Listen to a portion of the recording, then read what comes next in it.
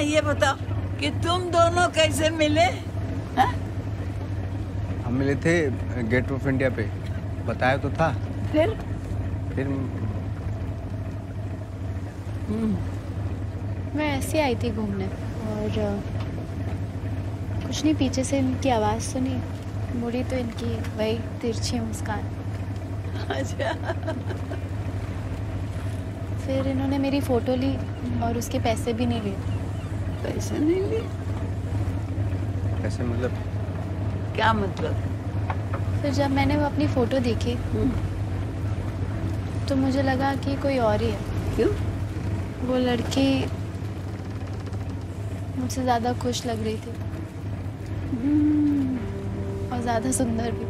अच्छा। फिर रोज़ का मिलना हो गया।